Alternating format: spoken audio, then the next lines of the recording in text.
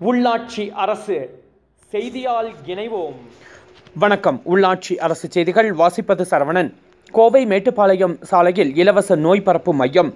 கோவை மேட்டுப்பாளையம் சாலை குருடம்பாளையம் ஊராட்சி நரசிம்மநாயக்கன் பாளையம் பேரூராட்சி சந்திக்கும் பழைய பத்மாலயா தேட்டர் அருகே உள்ள ஸ்ரீ அஜந்தா நகர் எல்ஆர்ஜி நகர் பத்மாலயா நகர் உட்பட ஐந்திற்கும் மேற்பட்ட நகர் பகுதியில் சுமார் ஆயிரத்திற்கும் மேற்பட்ட குடியிருப்புகள் உள்ளன. இங்கு சுமார் ஐயாயிரத்திற்கும் மேற்பட்ட மக்கள் வசிக்கின்றனர். இப்பகுதியில் உள்ள மக்கள் பள்ளி கல்லூரிக்கு செல்வோர் மேட்டுப்பாளையம் மெயின் சாலை ஸ்ரீ அஜந்தா நகர் சந்திப்பு வழியாகத்தான் செல்ல வேண்டும். இங்கு மலைபோல் குவியும் குப்பைகள் மற்றும் சாக்கடை நீர் நீண்ட காலமாக தேங்கி நின்று இலவச நோய் பரப்பும் மையமாக காட்சியளிக்கிறது.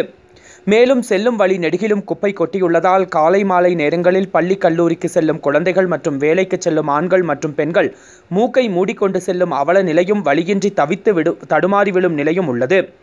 குப்பைகள் எடுத்தாலும் இரண்டு நாட்களில் வெளியில் இருந்து இரவு நேரத்தில் அதிக அளவு குப்பை மற்றும் கழிவுகளை கொட்டுவிடுகின்றனர். இது தொடர்பாக கழிவுநீரை வெளியேற்ற வடிகால்கள் கட்டி நிரந்தரமாக குப்பைகள் கொட்டப்படுவதை தடை செய்ய வேண்டும்.